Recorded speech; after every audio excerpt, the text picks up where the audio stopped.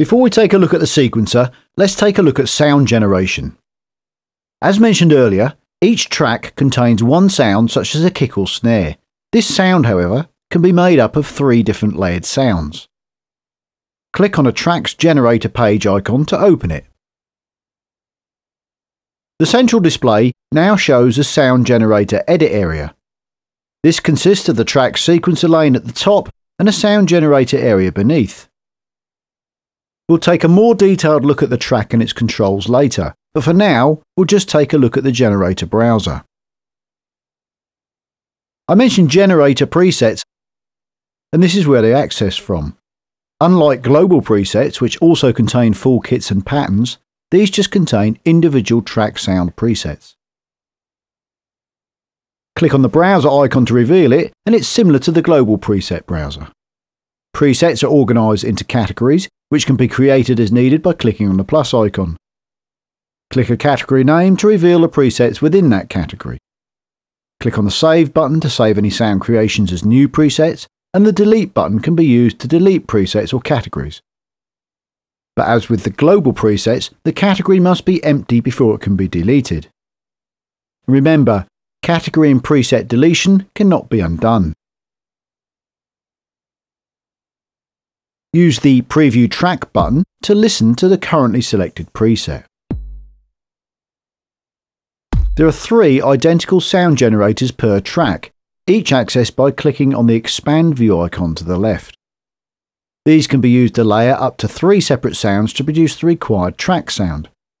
This preset uses two of the three, one for a sample sound, the other synth generated. The display will depend on the generator type selected from the drop down at the top.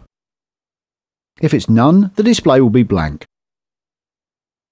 Synth is a dual oscillator synth and displays the oscillator tabs as well as envelope and various filter tabs. Sample is a one-shot sample player that also has the same envelope and filter tabs as well as a sample edit area. Let's take a look at this first. At the top, we find the sample browser from where any compatible samples in your BreakTweaker library can be found. The sample needs to be in either the WAV or AIFF format. There are also up-down icons for stepping through samples, and a load sample icon for loading samples that are on your file system but not in the BreakTweaker library. Discover helps you to find similar sounding samples on the web. This feature only works with factory samples and obviously requires an internet connection and needs to be enabled, which can be done from here or the options dialog. Once loaded, the sample is displayed as a waveform in the player. Here, trim points can be set several ways, and this is true for most parameters within BreakTweaker. Either enter a figure numerically as a sample value in the start and end displays, and you double click to access that. Or you can click drag left or right over the numeric values and hold down the control key if fine adjustment is required. Alternatively, click drag the trim start and end points above the display. Once these trim points are set, only the section between them is played back. Click on the preview button or press the corresponding MIDI note on your controller to hear how it sounds. Remember, track 1 is C1, track 2 C sharp 1 and so on. If you want to hear a combination of generators other than all three, or one in isolation from the other two, use the solo icons at the top of the relevant generators. The trim points can be used to change how the basic sample sounds, removing the attack perhaps to just use the decay phase. The waveform display can be zoomed using the zoom in and out icons or the mouse wheel while the cursor is over the display. It can also be scrolled using the sample ruler at the bottom. How a sample is played back is controlled by the playback mode control. Forward plays it normally. Reverse plays it backwards. Forward reverse plays it normally once and then immediately backwards. Reverse forward plays it backwards and then immediately forwards. Click the loop button to loop between the start and end trim points subject to the playback mode. click and hold the preview button to hear how that sounds while continuously looping. Once looping is enabled, it's possible to set a crossfade between the start and end points. This is expressed as a sample figure and can be set by left click and dragging over the figure, right to increase, left to decrease. The waveform displays the crossfades accordingly. Alternatively, to set a precise figure, double click and enter it numerically. Before moving on to the sound generator controls common to both samples and synth, Let's look at the synth type generator first. Selected by choosing that option from the drop-down. This is a dual wavetable type synth with individual control over both oscillators. Wavetables are digitally sampled audio sounds that can be used to create anything from simple to very complex sounds. The oscillator is selected by clicking on its tab. Its controls and parameters are independent of each other. For example, one oscillator can play a D while the other plays an A. The controls are identical though, so we'll just be concentrating on one of them. The synth has four synthesis modes set using the controls to the right of the tabs.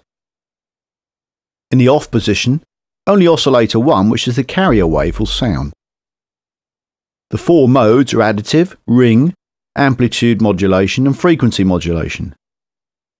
Additive mixes the two oscillator sounds together to create a more complex sound than it's possible with just the one oscillator. Ring creates a metallic type sound. The first oscillator, known as the carrier, has its signal multiplied by oscillator 2, which is the modulator. The resulting sound is two new frequencies based on oscillator 1, but created by the interaction of oscillator 2.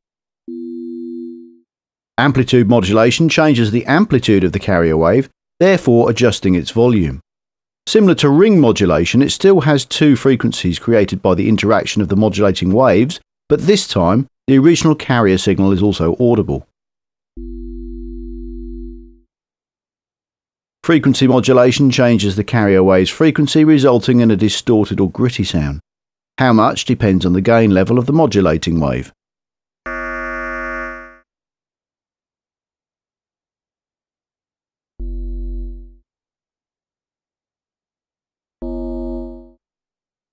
The individual wavetables are loaded from the drop-down selector toward the top of the wave display area.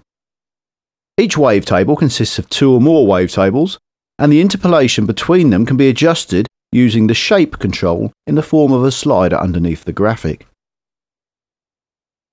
This control can be modulated using a pair of modulation sources, which can be any of the four available envelopes or four LFOs. These AHDSR envelopes and LFOs have their own section across to the right, and we'll take a closer look at them shortly. Once an envelope or LFO modulator has been selected, it's possible to select start and end points for the range to be modulated. Double click on either the start or end points to lock the range which can then be moved as needed. Double click on either again to allow adjustment. The lock and unlock options are also found in the right click menu, as are options to flip the start and end points, clear modulation, and set to full range.